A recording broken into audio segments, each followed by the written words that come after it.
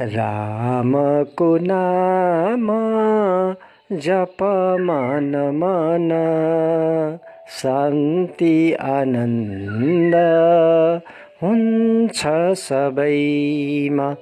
राम भनिनी श्याम भनिनी हुन्छन् सबैका दयालु दिलमा दया र प्रेमको दिलको संसार खोजी गर।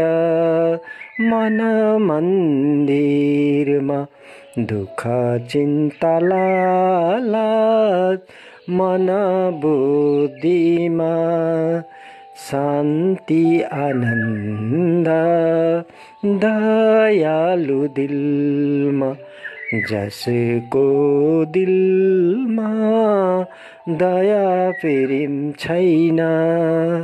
जीवनभरि त्यो मानिस होइन। दया प्रेम सेवाले मानिस बनाउँछ।